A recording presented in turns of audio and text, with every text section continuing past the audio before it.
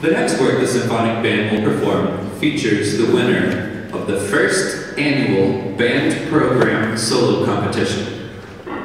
Michael Swanson is a senior music education and performance major here at USD. In addition to the symphonic band, Michael is an active member of the Sound of USD Marching Band and USD Jazz Ensemble 1. Michael is the current president of the USD chapter student chapter of the National Association for Music Education, and he is a student of Dr. C.J. Coker. Michael will per be performing Diversion, written by Bernhard Heiden. Diversion was composed in 1943 while the composer served at the U.S. Army Band during World War II. Heiden had previously written his sonata for alto saxophone and piano in 1937, which is widely considered to be the first sonata written expressly for the instrument.